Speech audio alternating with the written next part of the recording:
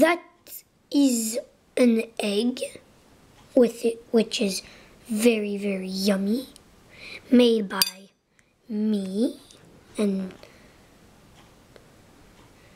and that's an egg and it has a weird shape.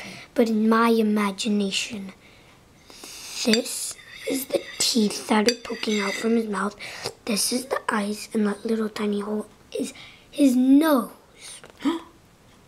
mm-hmm, that's 这 what 是头发吗？ And he has a weird hairstyle.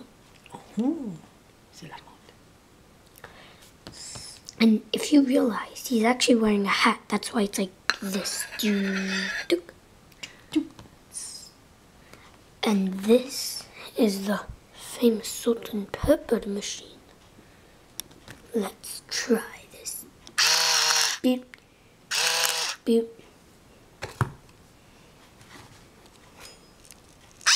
Beep. Beep. And now this is ready to get eaten. Let's go on.